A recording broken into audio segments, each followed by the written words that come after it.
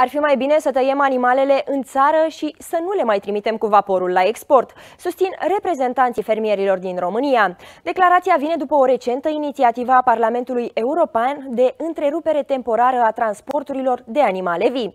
Ar fi, în același timp, mai spun fermierii locali, o ocazie pentru dezvoltarea capacităților de tăiere și procesare în țara noastră.